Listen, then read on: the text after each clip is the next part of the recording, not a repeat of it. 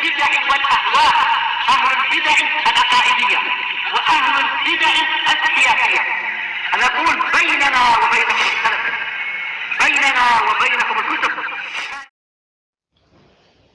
بسم الله الرحمن الرحيم.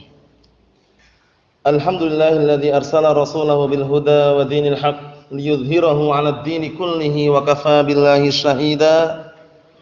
وأشهد أن لا إله إلا الله وحده لا شريك له إقرارا به وتوحيدا وأشهد أن محمدا عبده ورسوله صلى الله عليه وعلى آله وسلم تسليما مزيدا لا نبي بعده إخواني في الله حفظكم الله جميعا kita lanjutkan pelajaran kita yang berikutnya yaitu tafsir firman Allah Subhanahu wa taala ayat yang ke 216 dari surat Al-Baqarah.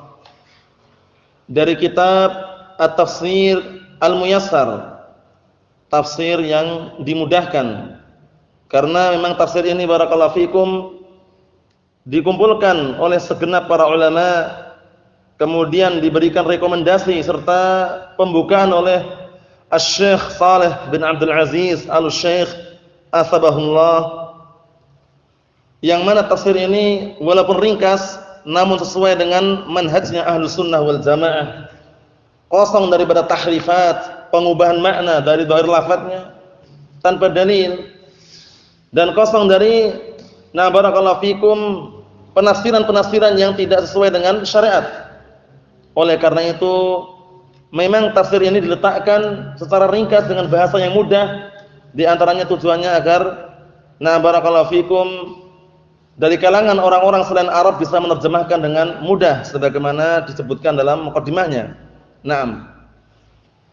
Kita lanjutkan barakallahu fikum ayat yang ke-216 yaitu mengenai keadaan orang-orang mukminin yang mana apabila datang kepada mereka perintah untuk berperang pada asalnya bukan mereka tidak mau namun secara tabiat manusia merasa berat. Dalam artian tiba-tiba langsung ada peperangan itu sangat berat sekali. Namun di balik itu ternyata kebaikan untuk mereka, bukan kejelekan untuk mereka. Karena sebagaimana dalam hadis yang sahih, hadisnya Thauban radhiyallahu anhu, apabila manusia sudah tertimpa dengan penyakit yang sangat berbahaya yaitu al-wahn, itu dia akan apa? Akan secara tidak langsung tidak mau untuk berperang karena takut terhadap kematian. Yang mana dalam hadis tersebut disebutkan bahwasannya orang-orang kufar, musuh-musuh agama Islam berkumpul hampir-hampir bersatu untuk menghancurkan kaum muslimin. Tada'alaikum al-umam kama tada'at al-aklatu ila qas'atiha Faqala qailuhum amin qillatin nahnu yawma idzin ya Rasulullah? Qala bal antum yawma idzin katsir walakinnakum ghusaa'un ka ghusaa'is sail. Artinya hampir-hampir sekelompok umat daripada musuh-musuh Islam mereka berkumpul bersatu padu untuk menghancurkan kalian, menyerang kalian maksudnya adalah segenap kaum muslimin. Dihancurkan, diserang, diserbu sebagaimana Nah barakallahu fikum orang-orang yang mereka menyerbu sebuah nampan yang ada makanannya. Dalam artian cepat gitu. Kemudian sebagian dari para sahabat bertanya, "Amin kilatin nahnu yawma idzin ya Rasulullah?" Padahal kaum muslimin banyak sekali tapi kenapa kok bisa dikalahkan? Bisa diruntuhkan kenapa? Akhirnya para sahabat tanya, "Apakah kita karena jumlahnya sedikit wahai Rasulullah?" Qala Rasulullah mengatakan, "Bal antum yawma idzin katsir." Bahkan kalian pada waktu itu, pada hari itu banyak, orangnya banyak. Walakinnakum husa'un ka husa'is sail. Tapi kalian tuh bagaikan buih. Nam, seperti buih yang ada dalam lautan. Dalam artian ter nah barakallahu fikum diterpa oleh ombak ikut aja arahnya ke mana. Dalam artian kalian tuh malah justru disetir. Kalian tuh diatur oleh mereka gitu loh. Nah, sebabnya kita lihat di akhir nanti. Wala yanzi'anna Allah min qulubi aduwikumul mahabah minkum wa la Allah fi qulubikumul wahn faqala qailuhum wa mal wahn ya Rasulullah qala hubbud dunya wa karahiyatul maut Naam, hubbud dunya wa karahiyatul maut. Itu ternyata penyakit yang sangat mengerikan, penyakit al-wahn. Bukan waham ya. Bedakan wahan dengan waham. Paham ya? Naam, bukan wah, wahan. Ini wahan ya, wahnun bukan wahmun. Naam, barakallahu fikum. Akhirnya setelah itu Rasulullah mengatakan sungguh Allah Subhanahu wa taala akan menghilangkan rasa takut yang ada pada dada-dada musuh kalian. Hilangkan cabut rasa takutnya. Allah fi qulubikumul wahn dan Allah taala tancapkan pada hati-hati kalian al-wahn. Kemudian sebagian para sahabat bertanya, "Wa mal wahn ya Rasulullah?" Apa itu wahn wahai Rasulullah? Qala hubbud dunya wa karahiyatul maut. Cinta dunia, benci kematian. Jadi kalau melihat peperangan benci enggak mau. Nah, eh, daripada kita perang damai dan semisalnya. Nah, barakallahu fiikum. Padahal posisinya agama Islam ini dijajah, diserbu, diserang, ingin dihancurkan. Namun karena benci dengan kematian dan cinta dunia, lebih mengedepankan dunia daripada nan jihad fisabilillah. Nah, kita lihat nanti, nah barakallahu fiikum hafizakumullah, apa yang Allah Subhanahu wa taala sampaikan. Qala Allah Ta'ala, Allah Subhanahu wa taala berfirman, kutiba alaikumul qitalu wa huwa kurhul lakum wa asa an takrahu syai'an wa huwa khairul lakum wa asa an tuhibbu syai'an wa huwa syarrul lakum wallahu ya'lamu wa antum la ta'lamun perhatikan kutiba di sini adalah furidah maknanya karena tidak selamanya kata ba itu menulis kalau antum artikan menulis keliru eh? Memang kata ba pada asalnya kata ba yaktubu menulis namun kalau kata ba'ala itu adalah adalah apa? Adalah na'am barakallahu fikum wajaba. Yaitu faradha. Paham itu ya? Jadi kutiba maknanya furida. Itu banyak sekali ya lafaz-lafaz seperti itu. Seperti ya ayyuhalladzina amanu kutiba alaikumus shiyam ay furida alaikum. Mahum? Ayo na'am barakallahu fikum. Seperti itu jadi perlu diperhatikan. Kalau antum terjemahkan telah ditulis atas kalian peperangan kurang tepat. Telah diwajibkan. Nah, itu tafsirannya nanti kita lihat nanti. Kutiba alimul kutiba alaikumul qitalu wa huwa kurhul lakum. Telah diwajibkan atas kalian berperang wahai segenap kaum mukminin dalam keadaan pada asalnya tabiat kalian tidak suka. Karena aslinya orang kan suka tenang, damai, tentram. Nah, begitu diwajibkan peperangan dalam keadaan mendadak seperti itu, mungkin kebanyakan orang merasa keberatan. Walaupun nanti setelah itu tetap berang, tetap perang. Wa asa takrahu syai'an wa huwa khairul lakum dan bisa jadi kalian benci terhadap sesuatu padahal itu adalah kebaikan untuk kalian. Wa asa an tuhibbu syai'an wa huwa syarrul lakum dan bisa jadi kalian tuh cinta terhadap sesuatu padahal itu adalah kejelekan untuk kalian. Wallahu ya'lamu wa antum la ta'lamun. Dan Allah taala zatnya Maha lebih tahu dan kalian tidak tahu. Nah, barakallahu fikum. Perhatikan. Jadi pengetahuan Allah Subhanahu wa taala meliputi segala sesuatu. Kalian enggak tahu apa-apa. Dengan adanya peperangan tersebut di balik itu ada hikmah. Nah, tapi Allah Taala tahu. Eh, dengan adanya peperangan, adanya apa? Adanya pahala yang berlimpah-limpah, syuhada, orang-orang yang mati syahid barakallahu fikum. Karena orang-orang yang mati syahid itu atau orang yang dihukumi dengan syahid itu ada dua jenis. Syahid yang hakiki sama syahid yang hukmi. Paham ya? Syahid secara hakikat adalah orang-orang yang mereka gugur di medan peperangan, di ma'rakah, medan peperangan. Itu adalah syahid yang hakiki. Naam, la yutfan, la yutfan, wa la yusalla, wa la yusal.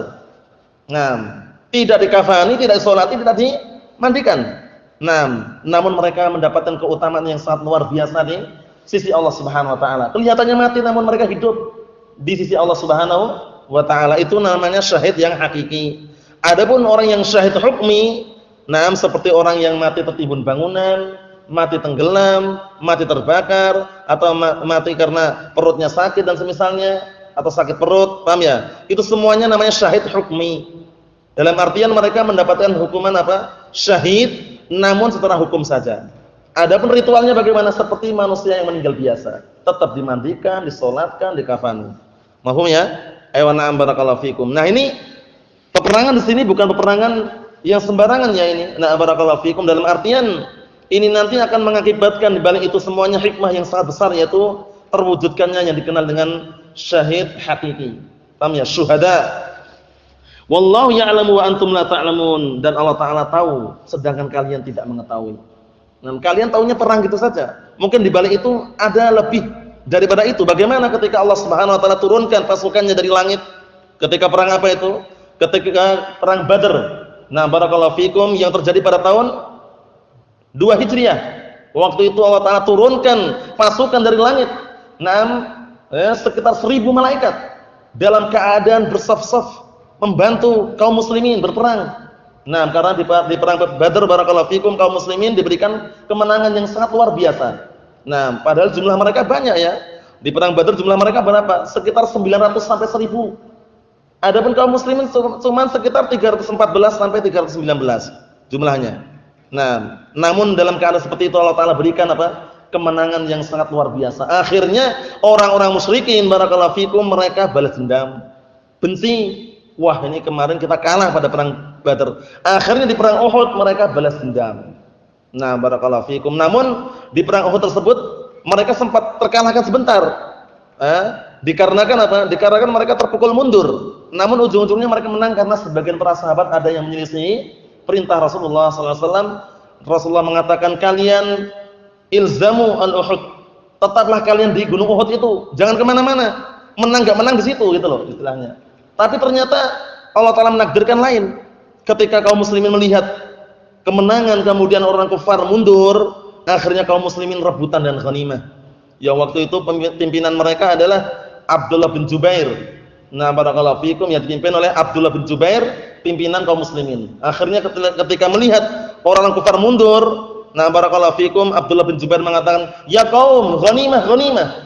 Wahai kaum, itu ada ghanimah. Ayo kita ke sana. Itu makna globalnya ya. Akhirnya mereka berturun. Turun rebutan ghanimah tadi. Ternyata orang-orang kafir mengatur siasat di balik itu. Mereka melihat kok gunung kosong langsung diserbu di gunung tersebut. Nah, akhirnya kaum muslimin dibantai, dibunuh. Nah, barakallahu fikum di antaranya pamannya Rasulullah meninggal di situ. Siapa? Hamzah bin Abdul Muthalib. Nah, Us Asadullah, singa Allah Subhanahu wa taala. Digelarin Asadullah kan itu. Nah, barakallahu fikum. Namun di perang Badar musuh yang juga jahat sekali dari kalangan orang kufar terbunuh juga itu Abu Jahal. Nah, siapa yang membunuh Abu Jahal? Siapa yang membunuh Abu Jahal?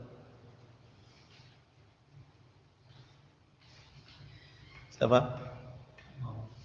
Muawid bin Muawid, bin Muawid bin Muawid bin Afra dan satu lagi Padahal masih umurnya masih kecil-kecil waktu itu dua orang itu, dua orang ya. Cuman akhirnya disempurnakan Abdullah bin Mas'ud kan itu. Nah, Muawad bin Afra satu lagi. Siapa? Abu Ishaq. Abu Ishaq Hisham. Itu namanya. Namanya Abu Jahal. Ini bukan namanya Abu Jahal yang bunuh Abu Jahal. Yang bunuh Abu Jahal kan Muawid bin Afra satunya lagi Mu'ad bin Amr bin Jamuh. Kan itu. Nah, Mu'ad bin Amr bin Jamuh. Nah, barakallahu fikum kemudian sempurna oleh Abdullah bin Mas'ud di situ bisa dilihat dalam kitab apa? Al-Fusul fi Siratul Rasul yang dikarang oleh Al-Imam Al-Mu'arrikh Abdul Fida Ismail bin Umar Ibnu Katsir rahimatullah alaih. Naam. Kisahnya di sana semuanya. Kalau disebutkan sekarang nanti kepanjangan. Yang jelas, nah barakallahu fikum kisah pertempuran yang sangat seru Nah, barakallahu fikum masih ada setelahnya perang Ahzab, nanti perang nah barakallahu fikum ada perang Khaybar misalnya di sana banyak sekali. Nah, barakallahu fikum syahidnya bahwasannya peperangan itu nah peperangan tersebut barakallahu fikum pada asalnya berat bagi kaum mukminin namun itu ternyata di balik itu kebaikan bagi kaum mukminin. Qala al-fassirun asbahumullah Faradallahu alaikum ayyuhal mu'minun qitalal kuffar. Allah Subhanahu wa taala telah mewajibkan atas kalian wahai segenap kaum mukminin peperangan melawan orang kafir. Wal qitalu makruhun lakum min jihati tab'. Benar enggak ini? Sedangkan peperangan itu tidak disukai oleh kalian, ditinjau dari sisi tabiatnya. Karena kalian atau kita semuanya inginnya tenang, tenang, tentram, aman, seperti itu. Lima syaqqatihi wa kasrati Dikarenakan beratnya peperangan tersebut dan juga banyaknya perkara-perkara yang membahayakannya. Nah, karena dalam peperangan itu nggak sembarangan ya. Dilarang kita membunuh anak-anak kecil, dilarang kita membunuh anak-anak. Nah, barakallahu fikum atau para wanita. Kecuali yang mereka ikut andil merangi kaum muslimin. Kalau ikut andil maju ke depan ya harus dibunuh. Kalau tidak kita yang dibunuh. Paham ya? Ayo na'am barakallahu fikum dan itu kita saksikan waktu itu ya ketika perang di Damaj barakallahu fikum melawan Syiah Rafidah. Na'am barakallahu fikum alaihim laknatullah. Mereka waktu itu barakallahu fikum ternyata mereka menggunakan para wanita yang dikenal dengan Zainabiyat. Para wanita mereka dikenal Zainabiyat. Ya kalau ketelusur ya pelacur rasanya, pelacur pembantu mereka. Ternyata ketika salah satu daripada pasukan mereka menyerang kita, nah dia berada di puncak gunung, nah, menggunakan sniper yang mereka pakai. Nah, Allah musta'an. Akhirnya mereka ketika menyerang, kita berpikir kok tahan sekali di atas gunung itu padahal dingin, nggak sembarangan itu dingin. Ternyata salah satu ikhwah ada yang merayap naik ke atas gunung, ternyata dijumpai ada dua perempuan di situ. Nah, dua perempuan ikut ya ikut bantu dia nanti tadi. Dengan bagaimana caranya yang jelas ikut memerangi kaum muslimin. Akhirnya diperintahkan untuk membunuh juga. Karena karena kalau para wanita seperti itu keadaannya dalam keadaan tetap ikut bantu memerangi kaum muslimin, dibunuh. Itu ya? Nah, barakallahu fikum Allahul musta'an. Tapi kalau dalam keadaan posisi kita menyerbu, menyerang kemudian ada para wanita dan anak-anak kecil itu enggak dibunuh aslinya, ditawan. Paham ya? Ditawan dan yang semisalnya. Naam. Kita lihat sini. Waqad takrahuna syai'an wa huwa fi haqiqatihi khairul lakum. Dan sungguh kalian terkadang membenci sesuatu padahal itu pada hakikatnya adalah kebaikan untuk kalian. Iya enggak? Seperti ini keadaannya kita. Terkadang kita benci terhadap sesuatu padahal itu adalah apa pada hakikatnya kebaikan untuk kalian. Seperti kita misalkan bangun malam ya. Eh, musim dingin sekali kita mau bangun. Kelihatannya kan enggak enak bangun wudhu itu kan dingin. Tapi padahal di balik itu semuanya kebaikan untuk kita enggak? Kebaikan. Nah, kebaikan dua rakaat sebelum subuh, kebaikan salat subuh, paham ya? Nah, barakallahu fikum. Naam. Jadi kadang kita seperti itu keadaannya, melihat sesuatu itu benci enggak suka, tapi padahal kalau dilakukan eh, dalam sebuah ibadah atau istilahnya itu perkara yang syariatkan itu padahal kebaikan untuk kita. Sebaliknya, wa qatuhibbuna syai'an lima fihi minar rahah awil ladzah al-ajilah wa huwa syarrul lakum. Dan terkadang kalian cinta senang terhadap sesuatu dikarenakan di dalamnya ada perkara yang tenang, eh, tentram, enak, tapi segera. Dalam artian keenakan yang segera. Dalam artian bagaimana barakallahu fikum dalam keadaan yang tenang, enak, tentram ini kan orang senang. Tapi padahal wa syarrul lakum. Padahal itu adalah kejelekan untuk kalian. Nah, barakallahu fikum. Misalkan kita tenang hidup di kampung yang penuh dengan kemaksiatan, perjudian, eh, eh barakallahu fikum perzinaan. Di situ tenang karena satu kampung memang sepakat untuk apa? Dijadikan kampung tempat berjudi, berzina. Kita tenang di situ. Nah, barakallahu fi posisi kita tidak apa? Tidak ingkar mungkar. Itu bahaya sekali ya. Karena Allah Subhanahu wa taala ketika menimpakan sebuah azab, bencana bagi sekelompok kaum itu enggak pandang-pandang. Oleh karena itu Allah Taala mengatakan, "Wattaqu fitnatan la tusibanna alladziina dzalamu minkum khassah. Wa'lamu annallaha syadidul 'iqab." Artinya, berhati-hatilah kalian terhadap sebuah bala malapetaka, fitnah musibah yang akan menimpa sekelompok kaum namun tidak secara khusus. Nah, dalam artian kalau ada orang yang beriman di situ, kemudian kebanyakan masyarakatnya nah penjudi, perampok, pembegal misalkan ya, kemudian Allah Taala berikan ujian, eh, bencana, bala orang mukmin di sekitar itu tetap kena. Paham ya? Enggak dipilih-pilih di situ. Namun tentunya beda hukumnya itu ya. Yang jelas kenanya kena gitu loh. Nah, tapi kenanya kan bagi kaum ini bukan adab, cuman peringatan. Dalam artian jangan kalian diam. Nah, kalau misalkan bisa berpindah, berpindah tempat yang lebih baik seperti itu. Nah, barakallahu fikum. Wa na'am barakallahu fikum wallahu ta'ala ya'lamu ma huwa khairun lakum wa antum la ta'lamun dzalik. Fabadiru ila jihadi fi sabilih. Dan Allah Subhanahu wa taala mengetahui perkara-perkara yang itu merupakan kebaikan untuk kalian sedangkan kalian tidak mengetahui perkara tersebut. Maka bersegeralah kalian berangkat berjihad di jalan Allah Subhanahu wa taala. Ini menunjukkan bahwasanya apa? Ketika adanya peperangan, nam jihad fisabilillah, melawan musuh-musuh Allah Subhanahu wa taala, orang-orang kufar dan itu memang jihad yang syar'i, maka mau tidak mau kita harus berangkat. Nah, namun yang dihembuskan oleh sebagian kelompok-kelompok sesat yang mereka nam terpanas-panasi atau digelar dengan kelompok Hamasiyun, nam dari kalangan IM, Ikhwan Muslimin atau yang semisalnya, jihad, jihad, Palestina misalnya itu jangan terpengaruh. Nah, barakallahu fikum karena nah barakallahu fikum di sana ada unsur-unsur politik di balik itu semuanya. Nah, karena mereka inginnya cuma manas-manasi saja. Kalau benar perang lari kebanyakan mereka. Nah, barakallahu fikum. Di Yaman itu sendiri barakallahu fikum kalau kita perhatikan peperangan yang terjadi di sana barakallahu fikum, itu di antaranya ulahnya IM di antaranya. Ikhwal muslimin. Nah, eh, pertama kali dulu ketika dipimpin oleh salah seorang presiden yang namanya Ali Abdullah Saleh, bagaimana? Ikhwal muslimin demonstrasi besar-besaran ingin menggulingkan akhirnya dengan cara bagaimanapun nah barakallahu fikum dengan cara pengeboman, penembakan jatuh juga akhirnya. Setelah itu apa imbasnya? Ahlus sunnah yang kena. Ahlus sunnah juga serang waktu itu. Nah barakallahu fikum. Jadi bikin keonaran, bikin keonaran. Nah, namun yang dijadikan teman-teman mereka adalah dari kalangan musuh-musuh Islam Syiah Rafidah. Nah, barakallahu fikum. Setelah mereka naik, nah barakallahu fikum ternyata presiden yang lama tersebut akhirnya apa? Akhirnya ingin balas dendam kerjasama dengan kelompok yang sesat Syiah Rafidah, kafirah fajirah. Nah, barakallahu fikum. Akhirnya setelah itu terjadilah apa yang terjadi peperangan yang sangat dahsyat. Yang jelas Nah barakallahu fikum ikhwan muslimin dan semisalnya yang dikenal dengan IM itu biasanya manas-manasi pinter. Tapi kalau sudah pecah dalam artian sudah terjadi lari. Nah, akhirnya kena rakyat sipil yang tidak bersalah dan semisalnya ini terjadi ya. Allah musta'an. Jadi kita harus berhati-hati. Peperangan di sini maksudnya jihad fisabilillah, ini jihad yang syar'i. Benar-benar melawan orang kafir. Dan jangan tertipu dengan kelompok-kelompok sesat dari kalangan apa? Jaringan Al-Qaeda atau kelompok-kelompok ISIS kelompok-kelompok sesat yang mereka sering mengatakan jihad fisabilillah, jihad, jihad, tauhid, tauhid, tauhid dan semisalnya. Nah, katanya di Indonesia jihad kita.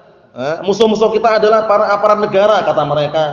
Eh, polisi-polisi musuh kita kata mereka. Ini semuanya tidak benar. Naam. Itu semuanya karena mereka sudah memiliki ideologi pemikiran yang sesat yaitu mengkafirkan siapa? Pemerintah muslimin. Allah musta'an. Hati-hati.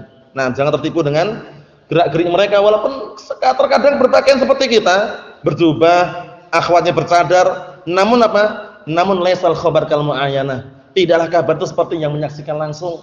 Dalam artian, na barakallahu fikum hafizakumullah, orang-orang yang kalau kita perhatikan pemikiran mereka itu nanti aneh-aneh. Barang siapa yang bisa membunuh eh, tentara atau polisi kata mereka ya, nanti kalau dia terbunuh justru mendapatkan apa? Jaminan bidadari 70 bidadari surga. Tertarik ya tuh? Tertarik? nah, barakallahu fikum, itu ada seperti itu. Kita baca artikelnya, ya Allah Allah musta'an. Dari mana kau bunuh diri kok? Dapat bidadari dari mana? Bunuh diri itu antamanya berat. Man qatala nafsahu bi syai'in aw bi hadidin, udiba bihi yaumil qiyamah antamanya. Barang siapa yang bunuh diri dengan sesuatu atau besi, di hari kiamat akan diadab dengan sesuatu yang dipakai untuk bunuh diri. Kau dapat bidadari dari mana? Namanya 70 bidadari katanya. Anda baca tulisan artikel tuh, ya Allah ini penipu benar ini. Tapi yang tertipu kebanyakan orang-orang yang sudah kosong pikirannya atau anak-anak kecil, intinya intinya yang istilahnya jauh dari ilmu yang benar. Allah musta'an. Hati-hati barakallahu fikum. Naam. Ikhwani fillah hafizakumullah jami'an wa. Itu mengenai peperangan yang perlu diperhatikan bahwasanya peperangan itu pada asalnya berat bagi kaum muslimin, mukminin, namun ternyata di balik itu semuanya ada hikmah yang sangat besar mungkin adanya na barakallahu fikum kebaikan bagi kaum muslimin yang meninggal di medan peperangan tersebut yang dikenal dengan syuhada atau mungkin mendapatkan nah harta-harta peninggalan orang kafir yang dikenal dengan ghanimah atau mungkin mendapatkan harta yang dia nah bunuh satu persatu dalam artian musuh dibunuh dengan nah barakallahu fikum seorang muslim bunuh satu musuh namanya apa? salab paham ya? Nam salabun namanya ya. Salabun itu misalkan satu orang ngejar musuh itu. Nah musuhnya bawa senjata buahnya ternyata dia eh, enggak enggak setelah tidak langsung ternyata sakunya itu ada ada emas satu kilo misalkan. Misalkan ya. Nah ketika dibunuh sama muslim ini, nah harta yang dia yang dia yang orang kafir yang memiliki satu orang tadi yang dikejar dibunuh tadi milik dia. Namanya, namanya salab namanya, salabun. Nah, barakallahu fikum. Tapi kalau kalau orang kafir serbu secara berjamaah keseluruhan dari kalangan kaum muslimin kemudian mereka nah barakallahu fikum terbunuh banyak kemudian harta tinggal namanya ghanimah. Paham ya? Nah, kemudian barakallahu fikum takumullah kalau seandainya baru dapat ultimatum besok hari sekian atau hari ini kita akan menyerbu enam kampung orang kafir misalkan. Ternyata baru dapat kabar dah lari duluan. Harta yang tinggalkan namanya apa? Namanya fai ya. Namanya fai. Naam, barakallahu fikum namanya faiun. Itu semuanya sudah ditetapkan dalam kitab-kitab Nah, masalah fikih barakallahu fikum wa Nasallallahu salamatan afiyah fid dunya wal akhirah. Subhanakallah bihamdika asyhadu an la ilaha illa anta astaghfiruka wa atubu ilaik. Walhamdulillahirabbil alamin.